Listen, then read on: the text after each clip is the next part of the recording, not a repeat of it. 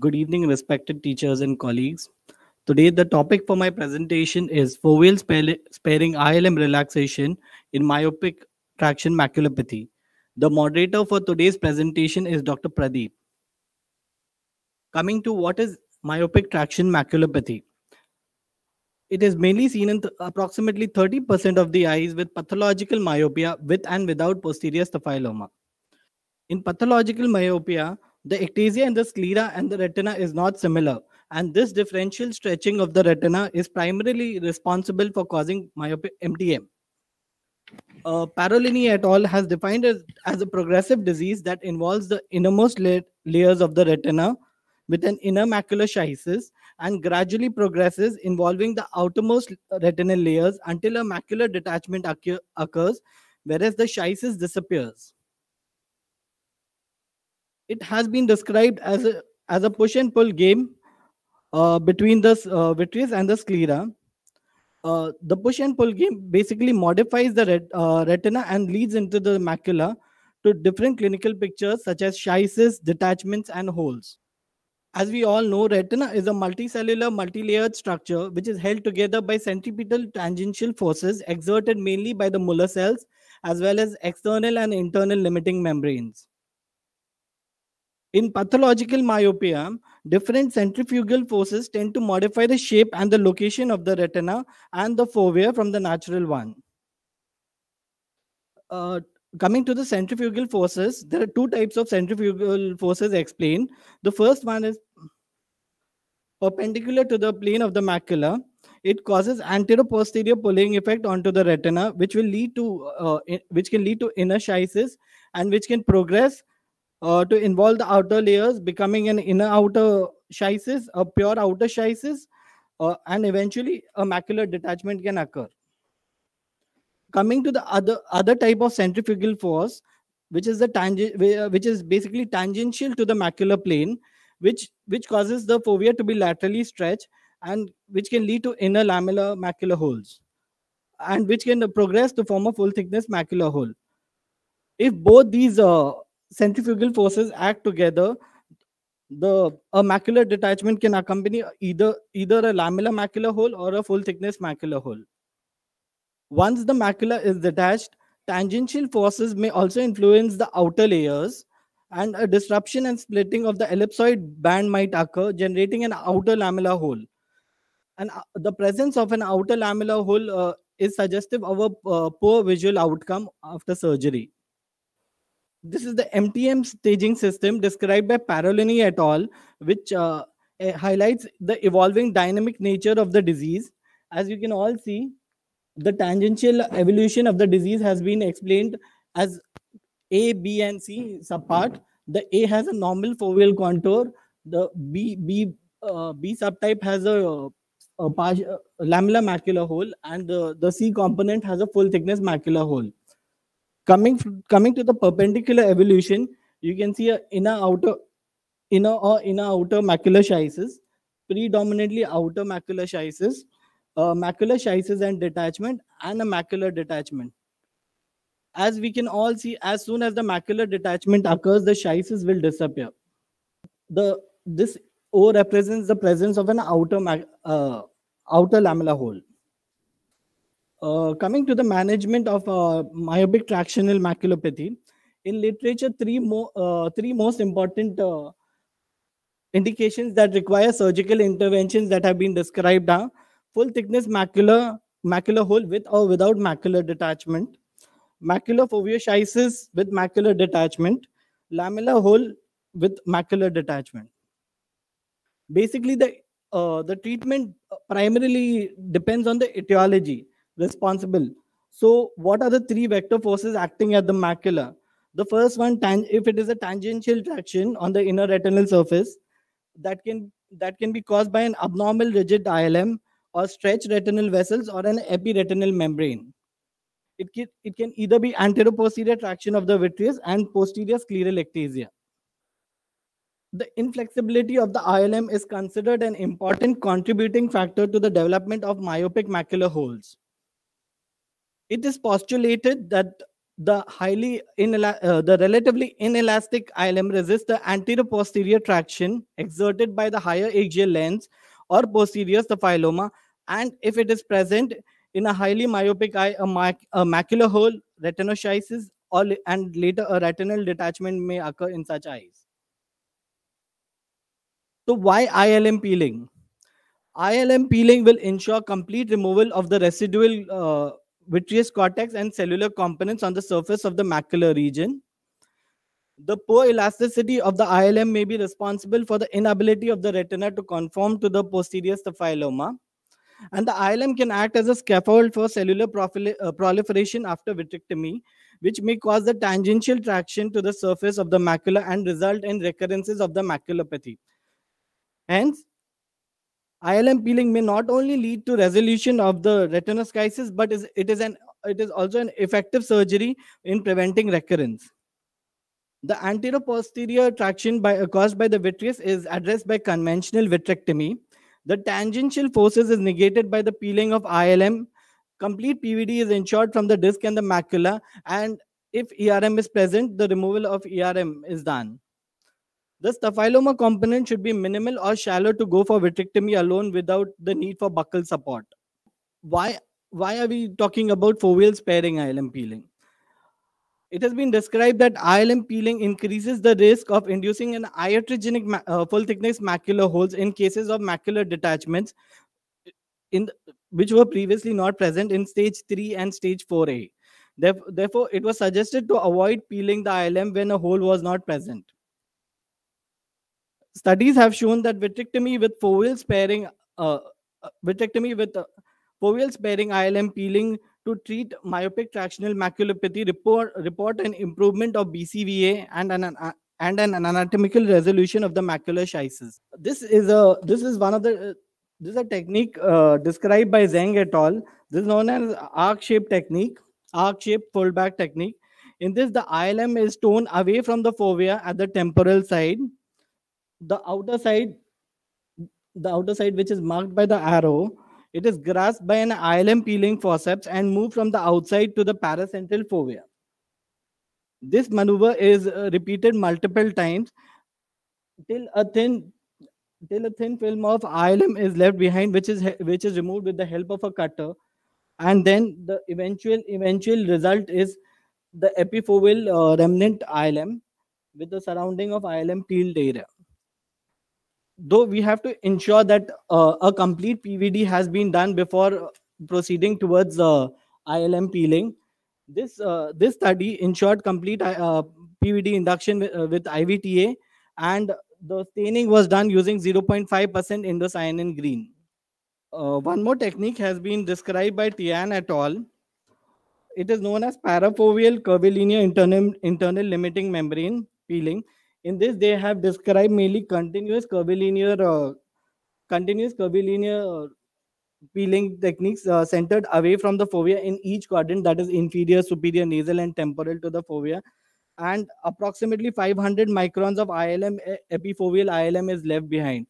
Any inter intervening, any intervening ILM between the two uh, between circles were removed with the help of a ILM peeling forceps. So, what are the complications of uh, ILM peeling?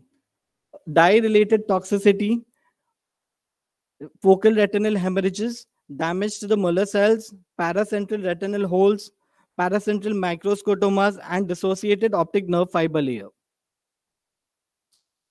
Coming to the uh, studies comparing uh, foveal sparing ILM peeling with complete traditional ILM peeling. So this is one of the studies done by Shimada et al. Uh, they compared 30 eyes with complete macular uh, macula ILM peel group, and uh, 15 of the 15 eyes were in the foveal sparing ILM peeling group. It was noted that the BCVA was significantly better in the uh, in the foveal sparing group, and the full thickness macular hole was noted in 16.7 percent of the completely ILM peeled group, and none of them were present in the foveal spared uh, ILM peeled group. Another, another study described by Shiraki et al. This was a re- retrospective case series um, in which these cases were at least followed up for 12 months. In the foveal sparing uh, group, 26 eyes were recruited, And in the sta- standard uh, complete ILM peeling group, uh, 76 eyes were recruited. The visual and anatomical improvements were comparable, uh, but with uh, foveal sparing ILM peeling, peeling showed the ability to prevent post-operative macular hole formation and a consequent imp- impairment in vision. This is one more study de- uh, described by Tian et al. Uh, in this, they recruited 18 patients in the foveal sparing ILM group and 18 patients in the total ILM peeling group. Uh, full thickness macular hole developed in 5.6% of the foveal spared group, whereas 16.7% was the incidence in the total uh, total uh, complete ILM peeling group. Long-term follow-up showed uh, better visual improvement in the foveal sparing group, and macular schisis disappeared in 72.2% in the foveal sparing group. Thus, they concluded that foveal sparing ILM achieves a higher rate of macular schisis over total peeling group. Uh, post-operate, they also concluded that a uh, pre-operative uh, pre-operative outer lamellar hole can be a risk factor for the development of a macular hole. Uh, coming to the discussion of cases uh, that we have done here, a 63 year old uh, lady uh, presented to us with diminution of vision for a year. Her best corrected visual acuity in the right eye was 636 and in the left eye was 636. Uh, she was diagnosed elsewhere as right eye retinoschisis and given a single dose of anti-VEGF and left eye diagnosed as myopic CNM and given two doses of anti-VEGF. This is the fundus picture of the right eye. We'll be discussing each eye separately at, as we have operated both eyes. So this is the fundus photo of the right eye. You can see the uh, posterior staphyloma with dense uh, choroidal atrophy in the macular region and schisis involving the fovea. A B scan was done.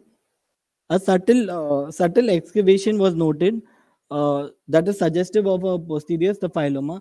Uh, a highly reflective membrane from the optic nerve head towards the macula was noted, which was suggestive of a macular detachment.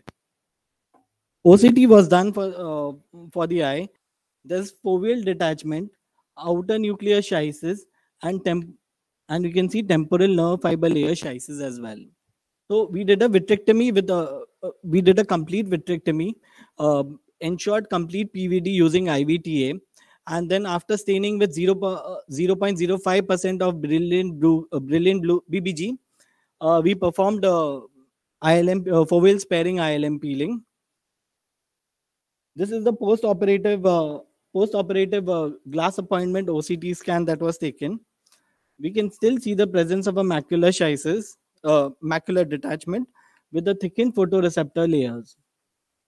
As we had followed up the patient for the other eye, at six months, we can we can see that the the foveal de- detachment has disappeared, but there's loss of ellipsoid uh, ellipsoid band, and some perifoveal schisis is, is still left with some minimal SRF. The best corrected visual acuity at uh, glass appointment was 618 and it improved to 615 after six months. Coming to the left eye, this is a picture of the left eye showing posterior staphyloma with subretinal fluid. Similar picture of hyperreflective membrane extending extending from the optic nerve head to, towards the macula, suggestive of macular detachment. OCT was done. OCT was done uh, OCT was done and the OCT reveals a big macular detachment. Similarly, we did a ILM uh, vitrectomy with ILM peeling. We in both the cases we used air as a tamponade. We we did FG and we left air behind. We can see that the macula the macula is attached and the schisis uh, is more or less disappeared. And the best corrected visual acuity is 615 at glass appointment. This is one of the videos from uh, one of the surgeries. PVD induction was was done. IVTA was used. Uh, IVTA was used to stain the residual cortex. We did an active uh, aspiration of the uh, loose IVTA crystals with cutter to ensure uh, removal of the hyaloid. A soft cannula tip is used to remove the loose crystals and to identify the areas of adherent cortical sheath stained by the IVTA. We can notice that even after using the dye and staining it for two minutes, the contrast is very poor. After the FG. No, I don't use FG.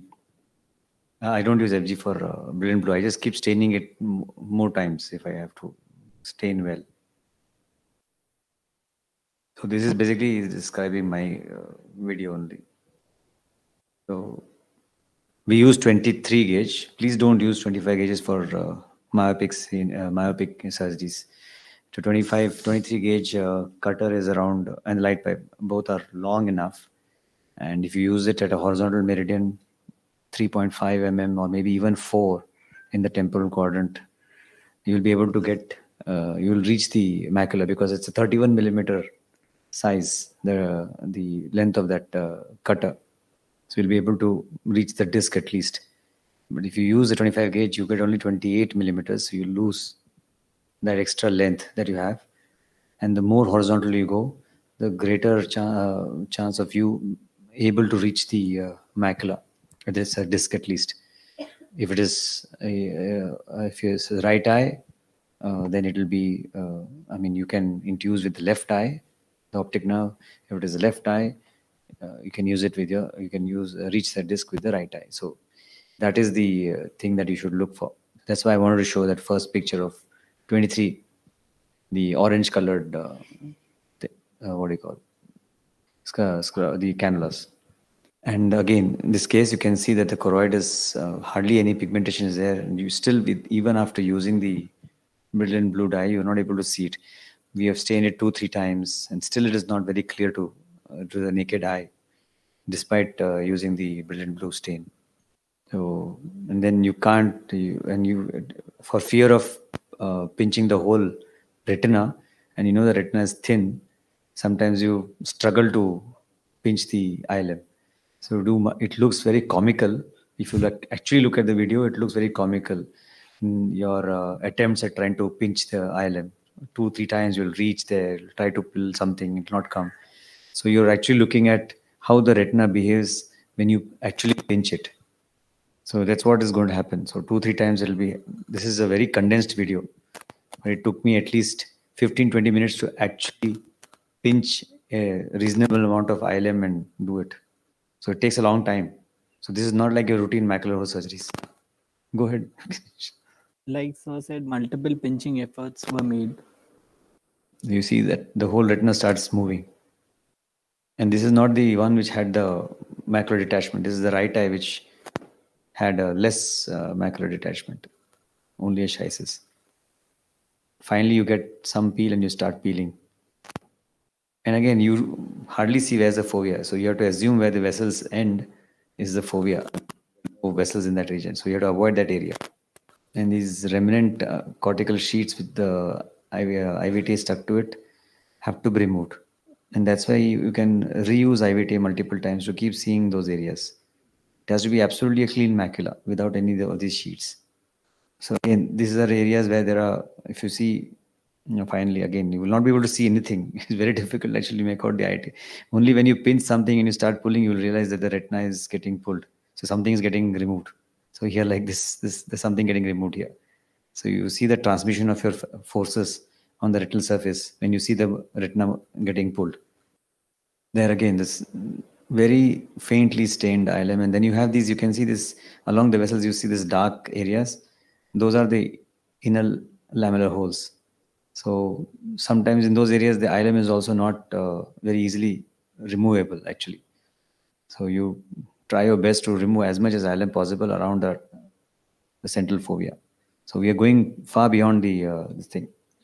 This is another case where we have a detached. This is not connected to those two cases that he has shown, but here the macula is totally detached within the staphyloma area. So you're staining with the IVT, and now since the cutter was not uh, what do you call doing a good job, so I had to actually start physically removing with the forceps. So you can see that the traction is transmitted to the macula when you pull. So you have to be very gentle. You can't just simply pull it straight in the anterior-posterior direction. So it's mostly circumferential traction, and then you because of the shearing force of the circumferential uh, movement of your uh, uh, forceps, you are able to transmit the forces along the surface of the retina, not causing a break. So that allowed us to remove the hyaloid completely. Then we stain the macula. And just to show how the retina behaves, the detached retina, myopic retina, how it behaves. So you can actually see the shear on the retinal surface. You can see that white tissue at the base of the ILM which is peeled. So you have to be extremely careful, slowly, patiently remove it. It will come piecemeal. It is not like, and then now what I'm trying to show is a centripetal action. The, the ILM is pulled towards the fovea, not the way he was trying to describe that Chinese uh, author. The multiple, uh, yeah. So this was just tried. I don't have a better video to show, but this is the best we could do to show the foveal sparing ILM peeling. So this was the case that uh, he showed also. He also showed the same thing in his presentation, and this is the case.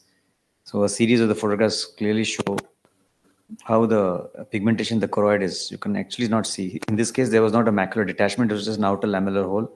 You can see with the foveal detachment. Outer lamellar hole is not, I'm sorry. The fovea is, is detached with the schisis in the outer nuclear, inner nuclear, and in the nerve fiber layer. So with the wide ILM peeling, sparing the fovea, we could get a, a reasonable uh, outcome. But not all cases are as good as what we are showing. This is just to show a successful case. Not necessarily that all cases will go like this. These are my Just go back to the, the, the case. Uh, yeah, one minute. Just one minute. Yeah, back. Uh, next one. Forward, forward. Forward. for- Next. Yeah, when. Uh, okay, uh, can the. Uh, so, if a uh, myopic uh, maculopathy, when it comes to your OPD, uh, you ask for the investigations. So, what particular investigations you would like to ask for to look for what you need to? As he has described that there are some features which you need to look into the the retinal configuration or the macular area. So, what's the clinching uh, thing investigation which you look for? Yeah, can be preferred over the normal SDOCT because of its. uh, depth imaging. Uh, You need to look at the length of the, the macula, the overall, uh, the tractional, whatever he's talking about, the tangential, the vertical. So to get an idea of how much the pull is there, so a long uh, length, uh, nine uh, up to 12 millimeters, can SSOCT is preferred. And uh, any other investigation? Sir, ultrasound to. Yeah, is that ultrasound enough for you to describe? Is it a correct ultrasound? Okay, so if you just ask for ultrasound and review the person you are there, you just do this and then send. Does it get any information to the surgeon? Why ultrasound was asked for? Uh, usually? to look for uh, axial length, uh, comparison of axial length, and uh, for the extent of the staphyloma. Okay. And the staphyloma, you can try to get at least the axial length, including the staphyloma, and the depth of the staphyloma. If you can really keenly measure, you can you can do so. And uh, what is its uh, uh, exact location in comparison to the optic nerve? Like that will give us an indirect uh, way of Curtin's classification of posterior staphyloma. Go back next OCT. Yeah, second, uh, the down, the lower one, you have all the very classical features, what he is talking about. Okay, the, what's that, the, the top surface of the layer which is separating from the other layer, what is that? This side, this side, yeah, there also, if you see the islands of the separation, that's the ILM. Okay, ILM you can see and uh, get an idea like how much it has already separated. That will give you an information uh, during the surgery where you can just start getting the cleavage. And uh, can anyone describe uh, that what we talk about inner schisis and outer schisis? Can you show? Actually, the lower one has got all the classical features. the nerve nerve fiber layer schisis and then this is the inner nuclear schisis Where does the schisis differentiate? Inner and outer schisis? Which layer? You only have to tell. photoreceptor layer Loud. photoreceptor layer Yes. Anybody to differ? In this OCT, does it look there is a there's a concavity or the of the retina. Go to the next OCT. Again here, maybe the, the yes, expanded the OCT. Otherwise, you will get a good concavity of the retinal. This, the schisis gets relieved once the retina goes back. Can uh, one of you sum up, like where do you need the surgical intervention in this myopic maculopathy? Is the patient symptomatic? If that uh, nine chart of uh, is given to you, so if you happen to do the OCT, you will come across one of the features at least. Okay, and uh, which is the case? Uh, which are the cases which requires a surgical intervention? Which are the cases which can be observed and followed up? You can see all the red lines. It's already mentioned there. At least interpret that red color, whatever it has been there. Uh, Ayushi doesn't want us to see. Okay. Hmm. Everything is written there. See. What exactly matters for the patient's vision? With drop in the vision happens what on the retina, on the OCT, what you see to correlate that the patient patient says that I had about one month of drop in the vision in my nearing near vision. I was able to read. I'm not able to read now. Can't hear you. So if there is any uh, formation of macular or hole, full thickness macular hole is noted, or if there is detachment noted at the uh, fovea. So this foveolar, uh, fovea, fovea- Okay, so what mean is there is a disruption at the fovea, either in term or there is a neurosensory detachment. There is a separation of the, the RPE from the neurosensory retina. These are the only two reasons when the patient complains about that. So when there is only the schisis, the first few, even the lamellar hole, does the patient do not come across such type of uh, sudden drop in the vision or obvious vision deterioration okay so uh, when when there is a threat through the fovea either in terms of detachment or with a formation of a hole then we need to start going towards the surgical indication okay So one more important point is to also see the staphyloma. Okay. So if you look through literature and uh, myopia, you see that staphyloma can be central or uh, the, I mean, sorry, the fovea can be at the dead center of the concavity of the staphyloma, or it could be at one of the edges of the staphyloma. So there's so much variation in that. So these are all classic cases. If you see, everything is falling in a one single straight line from top to bottom. The fovea being uh, at the top of the the concavity at the most concave part of the staphyloma so it is actually anatomically uh, good. But many a times the staphyloma is at one edge i mean the fovea is at one edge of the staphyloma in those cases we are not discussing this at all. Okay? All the whole uh, chart is showing that the fovea falls exactly at the center of the concavity of the staphyloma and that's why it is having all these pathologies but if the fovea were supposed to, if you imagine the fovea at one slant, uh, then these sur- then it take then the surgeon has to take a call on that disease, what to do with it.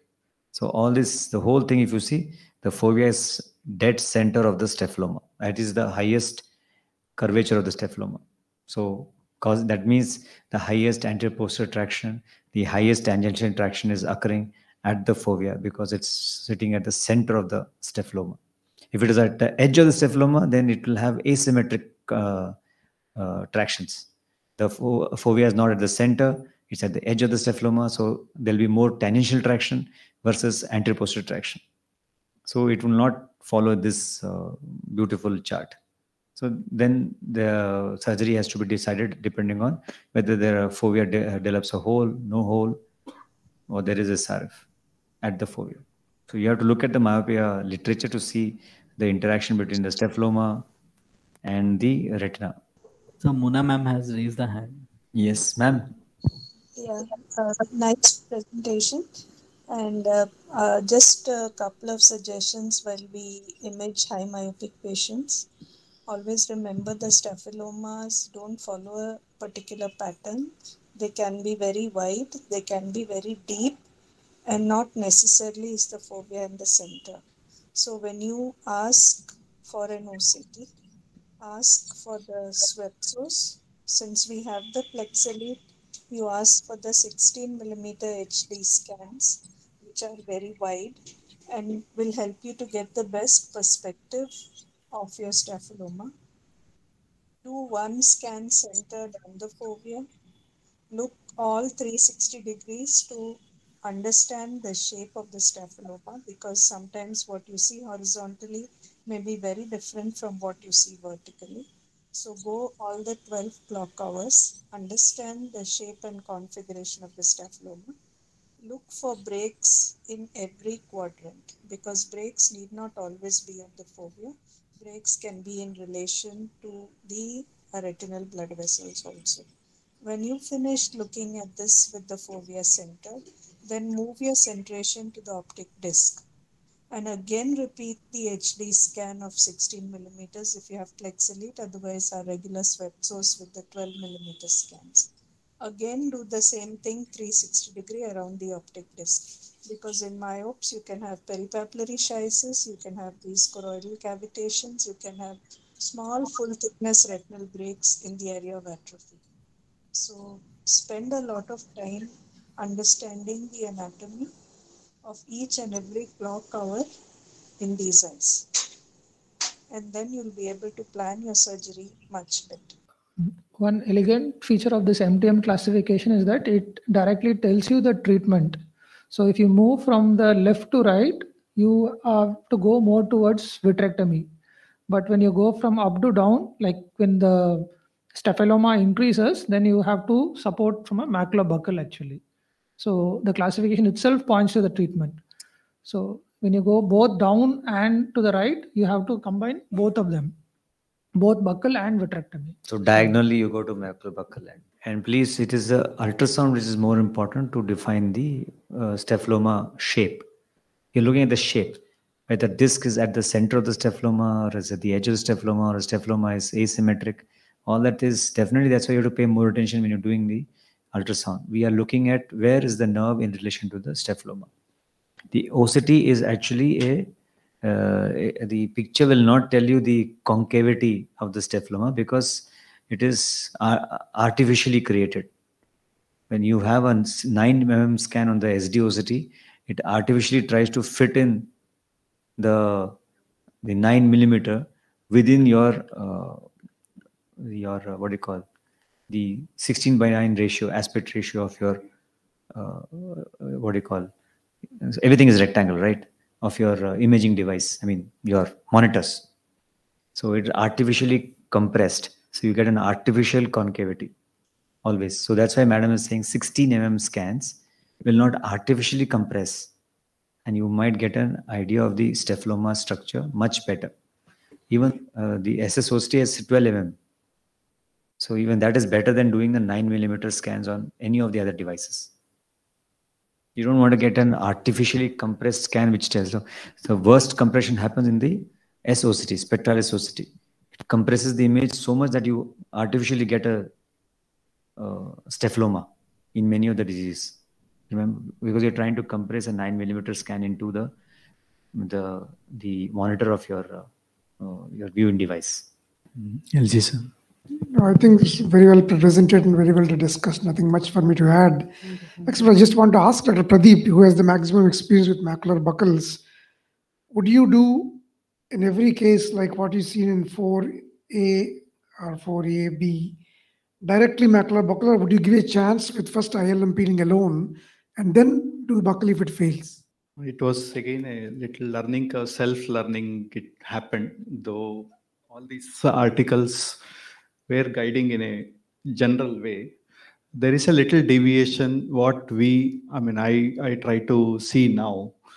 Uh, though the theoretically like uh, Parolini advises that the more the staphyloma you try to support with the buckle one with the buckle related more of the uh, the surgical intricacies or complication i try to more concentrate on the axial length of the eyeball so even up to 30, 31 with a very broad staphyloma and uh, a good retinal thickness, still we can go with our conventional vitrectomy, which serves the most of the cases.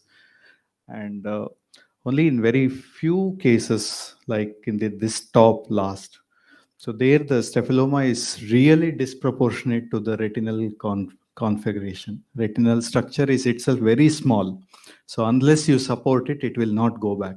And those cases, if we try vitrectomy with a large ILM peeling, it can cause a large hole and then uh, recurrence of the surgery. So this is what I have learned. So even that uh, the last uh, buckle what she is planning, still I try to follow the vitrectomies and uh, reserve the macular buckle very few cases. The other point I would like to make is that when you decide that on doing any major surgical procedure, we need to see the potential for visual recovery. But these are all eyes with very high myopia, likely that the whole posterior pole is having a lot of RP atrophy. In fact, some of the cases we don't see even choriocapillaris. It's just a bare sclera that you see in large patches. So if that is involving the macular area, he's not going to get back any useful vision. And there's no meaning in trying to even fix the central foveal detachment.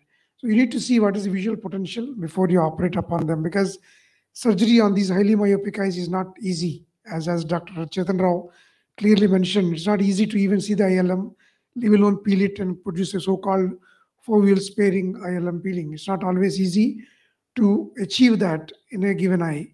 In fact, I have had two eyes after I came back and started operating here where I couldn't even reach the macula easily with the existing instruments. Even the so-called, um, I mean, even the 23 gauge forceps couldn't reach it.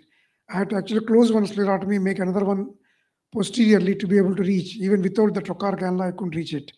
So, such being the case, uh, ILM staining is also very, very poor in these cases. So, you have difficulty. So, before you operate, make sure that it is like it is indicated and not do it just because the fovea is showing uh, or detachment in a given myopic. Second point you should remember is that if the patient's vision is reasonably good, say 6 by 12, 6 by 15, with a macular schisis, you would hesitate to operate. The reason is that the schisis still indicates that there is communication between the outer retinal layers and inner retinal layers. And those cases may have be actually having a reasonably good vision considering the visual potential of that eye. So you must have a demonstrable drop in vision before you indicate surgery. Presence of foveal schisis at first instance did not necessarily indicate need for surgery. Glaucoma is uh, one of the, the the nerve changes or the glaucoma is one of the need to take it a serious contraindication for either of the surgery, even for a vitrectomy, because they already will have only the central tubular vision, and those patients eh, land up with a macular hole, and uh, you without analyzing and uh, just go with a conventional surgery, the surgery goes good, macular hole might close, but still they may have that washout phenomenon, and you may lose the complete vision. So glaucoma will be one of the very serious thing to think about before planning any of the surgery. And as Sir told, if there is even a one CNVM or a patchy atrophy or a lacquer cracks whatever it is under the fovea, those are all come under the poor visual prognosis. So you need not be very heroic in your surgery, advising or uh, going for the surgery. Uh, yeah. Uh, very good, nice class always. I also agree with uh, LG sir that uh, oftentimes what happens is even after the successful uh, ILM peeling and uh, uh, the retina also becomes flat, the macular detachment is gone, foveoschisis is gone, but there is a paradoxical retinal thinning and that causes a loss of vision. So even after a successful surgery, the patient may not get any useful vision. So it's a little bit very difficult to uh, explain to the patient. So you have to be very careful in choosing the patient and you have to explain the prognosis very clearly to the patient that it may may not help. And second thing I wanted to ask you during your literature search, did you come across any uh, case series where they have done only vitrectomy without any ILM peeling for this kind of myopic uh, um, I had given the papers to you. There is one article, madam, uh, where initially all these were along the, I think I have noted down 2011 12 articles from Chinese group. Uh, they have done for only the macular detachment, they have done only the vitrectomy. And with hypothesizing that uh, the vitreous is the, the major cause for the, the tangential traction. And they have noted that uh, the retina has settled well. But uh, the macular hole formation, secondary formation of a hole is up to 20%, they have mentioned. Then came the series of the with the same authors of ILM peeling, and uh, noting the secondary macular hole formation little lesser up to at least what he has quoted 5 to 15 percent then came the evolving the, the, the next ilm relaxation or sparing the iol so it was like more of a natural history of the surgery Are the visual results better with a myopic buckle than a vitrectomy? The visual results? Um, Not much uh, I could make out, madam. Now, at least uh, we have about eight years follow up also. Few of uh, three, four patients who are coming to us. They have uh, the vision recorded is maintaining, never have improved. And uh, but their uh, contrast and uh, their quality of the the lifestyle or their version, especially the one-night patients, uh, it's not very rewarding. Probably as like sir told after the vitrectomy there is definitely the retinal thinning after the ilm peeling. The same thing happens when there is a the push of the retina and uh, maybe the cra is increasing. It's very difficult to make out whether the chorioretinal patches are increasing in it. We don't have any functional uh, assessment to look at these cases. PDS, suppose uh, documented foveal increase along with drop in vision. Would you advise surgery or yes yes you yes, advise yeah Only, there you can take a only decision. schisis, but Yes, documented progression yes, of yes, yes. See, as long as the vitrectomy with a moderate staphyloma, approachable, uh, surgically, technically approachable things, yes, you can definitely go with our uh, the gadgets. What we have, it's quite safe now. Again, uh, when adding on macular buckle, the problem is sudden change in refraction, and sometimes patient just cannot tolerate that. Sometimes even myopia goes into hypermetropic refractive error. So we have to warn the patient uh, sometime uh, before even surgery. We have to counsel them well. That sometimes can be increased distortion because of dome-shaped macula. That's a little bit uh, difficult situation. That uh, will be very much amplified, and uh, because all these myopes would have had their uh, radial keratotomy, LASIK, and they come to you, and uh, they may have a little lens changes, and all these matters of your final visual outcome and the macular convexity after the buckle. So the counseling is very important because the person who were emmetropic after the LASIK can now has to start uh, adopting for the hypermetropic uh, number, which is not so easy for myopes. These are the things which pre-op counseling we need to make it. Madam, uh, MP, madam, anything is there? No, no, very nice uh, presentation. Uh, probably I would emphasize a lot on uh, the refraction of the patient before you plan surgery because even if uh, schisis increases, if you do a good refraction, you find that you're able to correct the patient reasonably well. So before taking a decision to operate on the patient, just get a good refraction done again.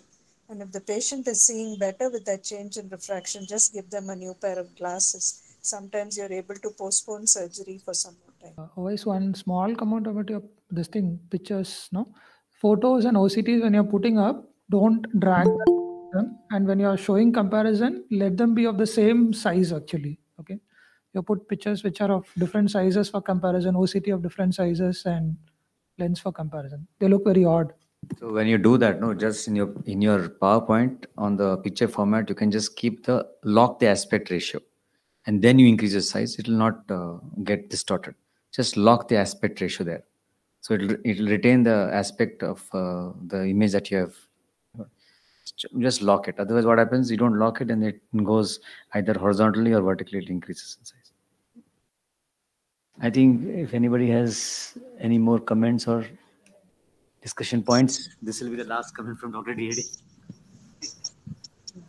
So uh, you all know that we are going to have a Retina Summit conference on 30th uh, June and 1st of July, and this is what we are going to discuss in the conference. So all of you must attend the conference and also ask your friends to register for the conference and come for the conference. Okay.